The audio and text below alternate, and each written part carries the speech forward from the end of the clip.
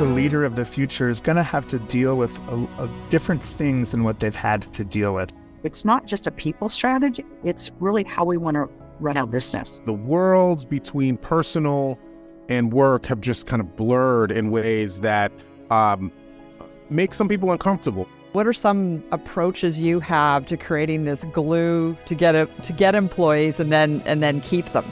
You know, our focus is trying to help people look around that very next corner and um, giving the insight into what's coming. And if we can do that well, we're able to really um, meet them where they are. Ask really good questions, and questions that are not, um, "What is do? What are you doing about that?" But more, "What if?"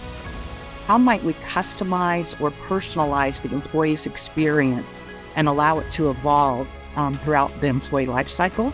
Developing that that kind of psychological trust within the boardroom is a really big one because if you don't know what's going on, then you can't help. Even just having the conversation and making that space goes such a long way.